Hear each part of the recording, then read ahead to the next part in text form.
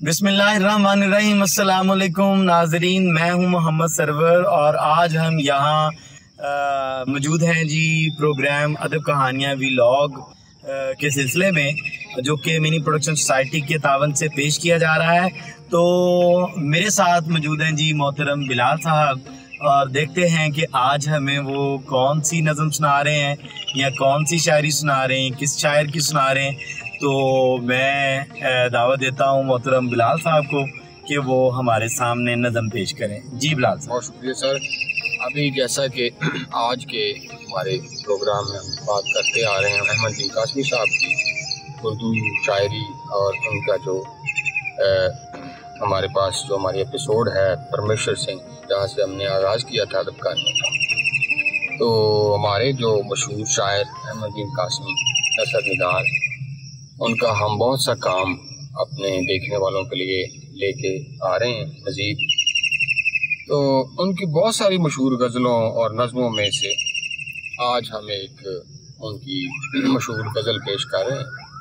اور غور کیجیے گا کہ ایسی شاعری اتنا بڑا شاعر کیسے پیش کرتا ہے۔ جی۔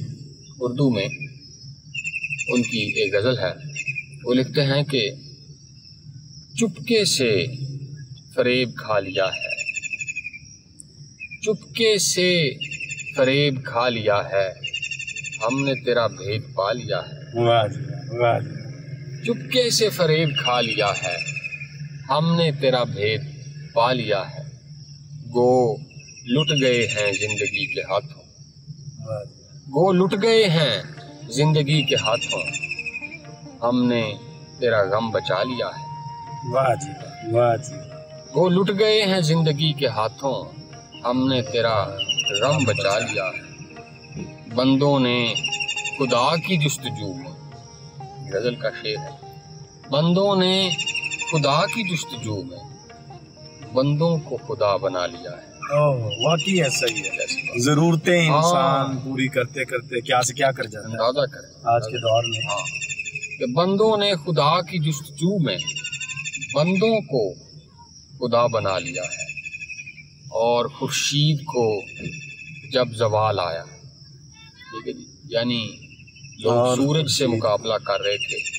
تو کہتے کہ جب سورج سے مقابلہ جیسے امریکہ ہے سپر پاور سے مقابلہ کرتے خورشید کو جب زوال آیا خورشید کو جب زوال آیا ہر ایک شے نے قد بڑھا لیا ہے۔ ہاں جی۔ ہاں، ہر ایک شے نے قد بڑھا لیا ہے۔ اور ایک اے گل ایک دن تجھے پا ہی لیں گے۔ اے گل تجھے پا ہی لیں گے۔ خوشبو سے تیرا پتا لیا ہے۔ جی، جی۔